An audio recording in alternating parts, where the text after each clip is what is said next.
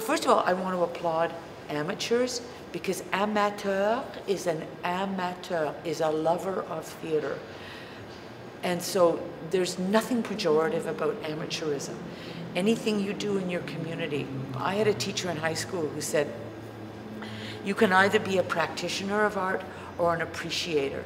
He said, but never confuse yourself. There is as much art to appreciation as there is to the practice. So if you're given the privilege of practice, then work hard. But there's a hard, there's hard work and appreciation too. And we need both to work. So an educated theater goer is so valuable. And if they do plays in their community, oh my gosh, all the more. So there's no judgment in that area. So anywhere you get is good on you. But I will state to you honestly, I don't think I could make it in today's world. Be, well, because I only do one thing.